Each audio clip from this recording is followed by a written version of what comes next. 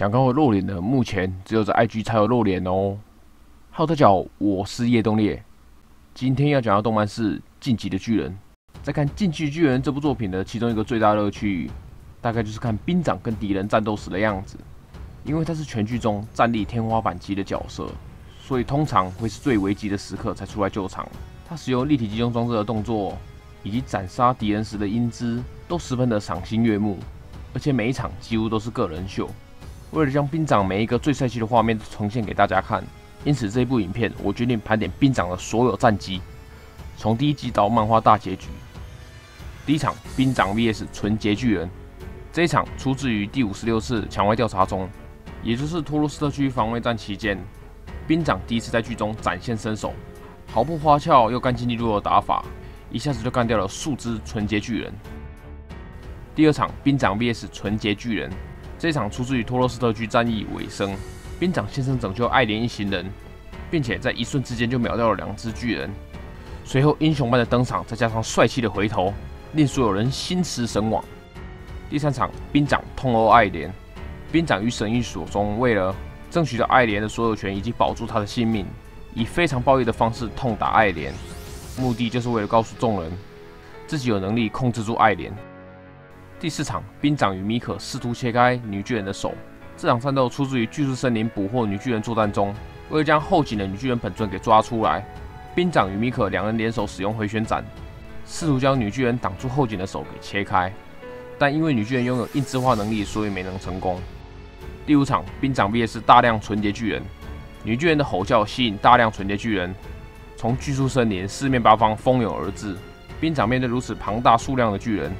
丝毫不感到惊慌，同样一瞬间就摆平了数只巨人，将兵团的损失降到最低。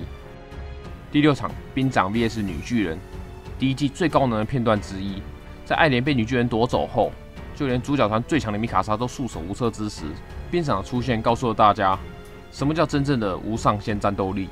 他以渺小的人类之躯力战庞大的女巨人，并以超强战斗力压着女巨人打，完全封住了她的行动，打得她毫无还手之力。真的让我非常的震惊，这种身手以及速度，根本不可能是人类能够达成的吧？即便就算后来被米卡莎扯了后腿受了伤，他依然从女巨人口中将爱莲给拯救出来。许多人当时都因为这场战斗而被兵长给圈了粉。由于第二季兵长负伤在休养，所以没有任何战绩，因此改由番外篇来讲解。再接第三季第七场兵长 VS 说话巨人，这场战斗出自于番外篇伊尔泽的笔记。当时李维班的咬舌哥被这只说话巨人给抓住，千钧一发之际，兵长迅速的将说话巨人的后颈给砍了下来。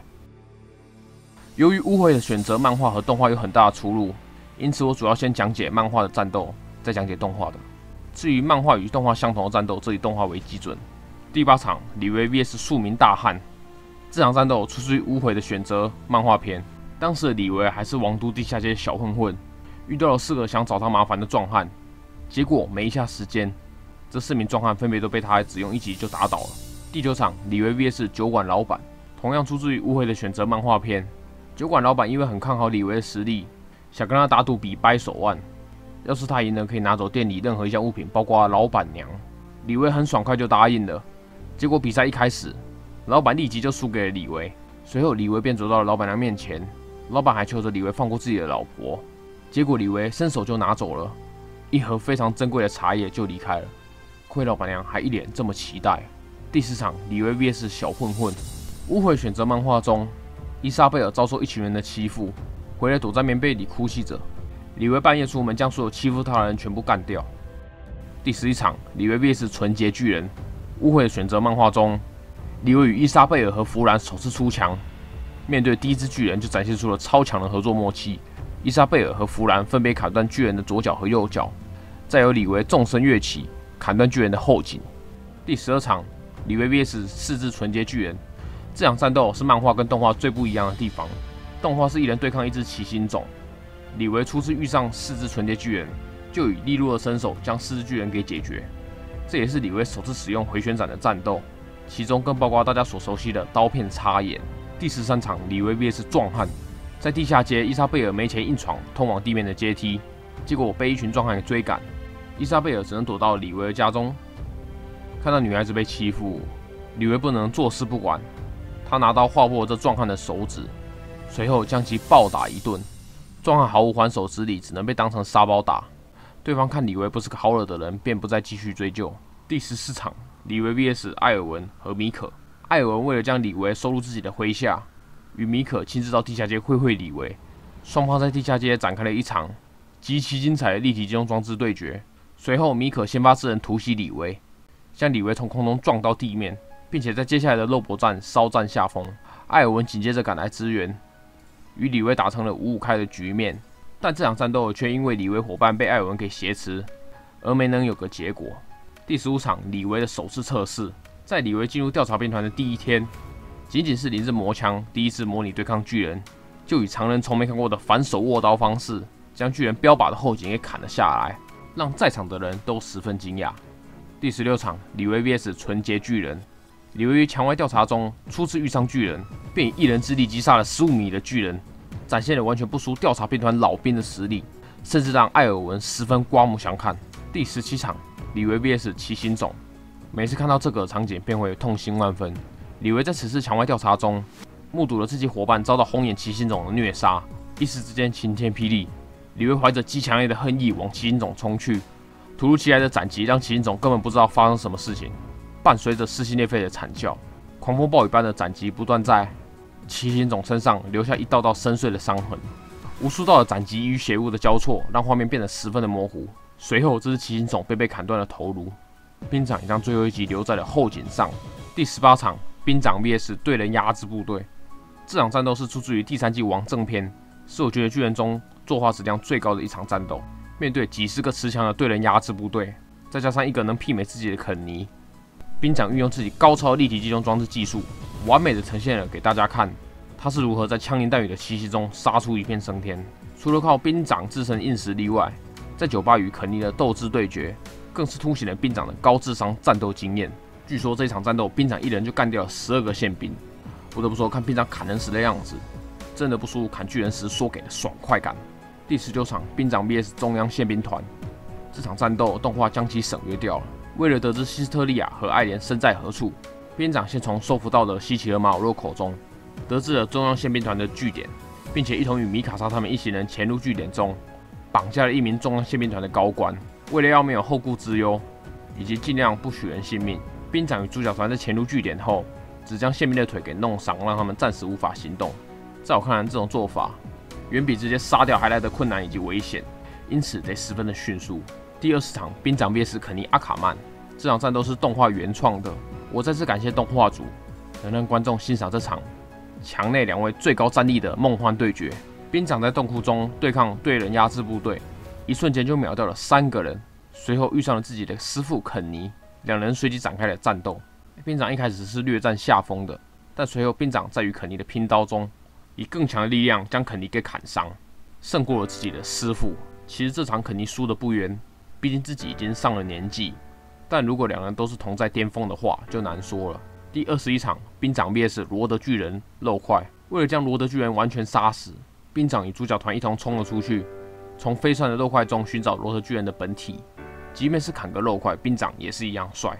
第二十二场，李维 VS 壮汉。与肯尼的回忆中，李维在小时候靠着肯尼所教的生存技巧，将一名壮汉给压着打。第二十三场，兵长 VS 莱纳。在玛利亚之墙夺回战初期，莱纳藏身之处被众人给发现，兵长宛如死神一般从天而降刺杀莱纳，将他的脖子给贯穿。为了能彻底解决他，兵长还多补一刀刺穿他的心脏。但只可惜巨人之力实在太过 bug 了，不然兵长其实已经做到最完美了。第二十四场，兵长 VS 纯洁巨人，在玛利亚之墙夺回战开场没多久，兵长仅仅一个动作就秒掉了两只纯洁巨人。第二十五场，兵长 VS 兽之巨人以及大量巨人。兵长全剧中最巅峰、最经典的一战，团长为了能让兵长打败兽之巨人，牺牲了自己和部下的性命掩护兵长。兵长则靠着兽巨人一旁所部署的纯洁巨人来靠近他。承载着大量伙伴性命的兵长，终于来到兽巨人面前。正当兽之巨人刚发觉时，他的手臂便已经被兵长砍成了好几段。随后，兵长使用了当时对抗女巨人的打法，仅仅一下子的时间，兽之巨人的视野和行动能力便被兵长给夺去。毫无反击能力的兽巨只能任由兵长宰割，并且本尊吉克还被兵长从后颈拖了出来。一时之间，整个战局被逆转了过来。但就在兵长决定如何处置吉克之时，突如其来的车力巨人将吉克给救走。随后，兵长面对又是一大批吉克所控制的巨人，为了完成与艾尔文之间的约定，兵长再一次自身冲了上去，干掉所有巨人。第二十六场，兵长 VS 艾莲和米卡莎，在玛利亚自强夺回战的尾声中，兵长与艾莲和米卡莎为了要使用真迹选择救阿米或团长而发生争执。李维首先对艾莲大打出手，将艾莲半边牙齿给打掉，但随即被米卡莎给压制。此时的李维因为先前的战斗，可说是已经完全精疲力尽了。第二十七场，兵长 VS 二之巨人。兵长与马雷片的第一次出手，二次巨人在艾莲打算吃掉战锤巨人之时，从背后偷袭，欲将始祖巨人给夺走，却遭到兵长将咬合肌给切断，而没能成功。第二十八场，兵长二度砍喉。兵长四年后于雷贝里欧奇迹战中再度与吉克交手，仅仅只用一击就将其给打倒，但实则是演戏。第二十九场，兵长斩杀三十只纯洁巨人加三度砍喉。在巨树森林中狡诈的吉克，将兵长的三十位喝了掺有自己脊髓液的部下全部变成了纯洁巨人，并且留下了二十七只巨人用来对抗兵长。结果二十七只巨人在短短时间内遭到兵长给全数歼灭。随后兵长宛如鬼神一般，杀气腾腾的向吉克袭来，随行的巨人也全部被兵长给杀死。吉克不禁大吃一惊，说着：“哦，怎么又是这样子啊？”并且变成兽之巨人还提早硬直化包覆了后颈。随后向兵长不断投掷巨人的肉块，兵长则使用一套声东击西，让吉克完全搞不清楚他的方位。原本在平地就打不赢兵长的吉克，在巨树森林更是不可能，更别说现在兵长还有着更猛的武器。兵长随即从上方突袭，并且将数枚雷枪直接射入兽巨的后颈。一声大爆炸下，吉克被雷枪炸成了人干。这一场战斗，吉克完完全全被兵长给虐爆。接下来的几场战斗，都是兵长重伤之后的战斗。遭受雷枪爆炸所波及的兵长，有着严重的内伤，右眼失明，还失去了右手的食指和中指，战斗力整个大幅度下滑，但依然不容小觑。第三十场，兵长 VS 古代九大巨人，为了阻止爱莲的灭世行动，兵长与主角团一同迎战了始祖尤米尔所召唤的古代九大巨人。兵长在这场战斗中担任辅助的角色，边打边因为内伤狂吐血。先是救了差点被二只巨人咬死的约翰，随后为了救昏迷的科尼。兵长遭到古代九大巨人咬伤左腿，所幸还能继续战斗。第三十一场，兵长四度砍头。在道路中的吉克遭到阿明嘴遁过后，对生命有了不同的看法，并且回到了现实世界，自愿被兵长给杀死。就这样，吉克遭到了兵长斩首，地名也因为吉克的死停了下来，而兵长也完成了他与艾尔文的约定。第三十二场，兵长与米卡莎 VS 超大巨爱莲。兵长最后一次出手，为了能让米卡莎将爱莲杀死。兵长使用雷枪将超大巨爱莲的门牙给炸碎，成功的让米卡莎进入到超大巨爱莲的口中，并且将本体给斩首，结束了这一切。纵观以上兵长所有战斗，几乎可以说是完全不败。只是兵长实力实在太过强大了，创哥不得不安排一场意外让他重伤，并且强制大幅降低他的战斗力，不然这个角色一直持续在巅峰，会让剧中整个战力天平不平衡。只能说兵长这个角色注定就是会这么悲惨。我想隔壁的五条悟大概以后也会这样。那么以上就是兵长所有的战斗。如果喜欢我的影片的话，请把阿哥订阅并且追踪 IG 以及 FB。我是张磊，我们下次再见。